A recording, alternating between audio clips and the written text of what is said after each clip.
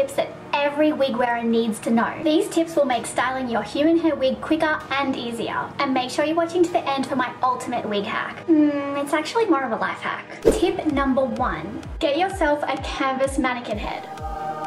Trust me, this is so much easier than styling a wig on your own head. Not only do you have a 360 degree view of your wig while you're styling it, but you can use the mannequin head for drying and storing your wig. This is also what I use when I'm coloring wigs, and it's especially helpful if you're creating an updo on a full lace wig. Just use a couple of T-pins and you're good to go. Tip number two.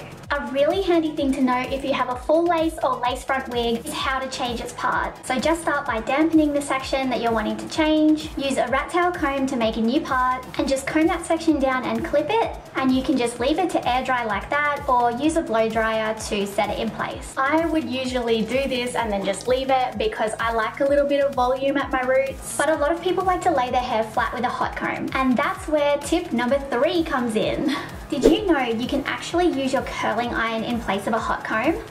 I know, right? You just need to use a fine tooth comb and just run your curling iron behind the comb to flatten the hair down. And once that's done, just use a little hairspray and we're done. Tip number four. One way to elevate your curls is to angle the front pieces away from your face. Do not forget to use a low heat setting when you're using any styling tools and a really good heat protectant. I like to also just hold the curls until they've cooled a little bit before I let them go and that gives them a little bit more longevity. And don't forget a light spray of hairspray. Before I tell you my absolute best wig styling tip, I want to remind you to please subscribe as it really helps my small channel and my small business. Thank you for your support and now back to the video. Tip number five. This is an especially helpful tip for anyone who likes to wear their wigs daily or really busy people or anyone who just wants to get a little more sleep in the morning, which I feel is pretty much everybody. When you're not wearing your wig, keep it on a canvas mannequin head or a wig hanger. This way your styling will hold much longer and you'll avoid damaging your wig with unnecessary heat styling. I styled